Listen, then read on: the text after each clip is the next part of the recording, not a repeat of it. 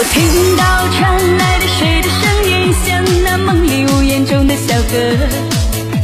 我看到远去的谁的步伐，遮住告别时哀伤的眼神。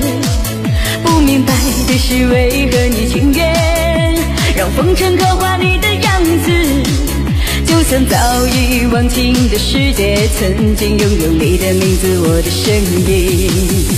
那悲歌总会在梦中进行，诉说想过的往事。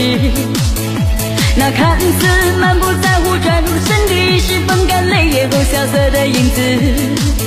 不明白的是，为何人世间总不能溶解你的样子？是否来迟了命运的预言，早已写了你的笑容，我的心情。不变的你，伫立在茫茫的城市中，提着心爱的灯笼。潇洒的你，将心事化进尘缘中。孤独的孩子，你是造物的恩宠。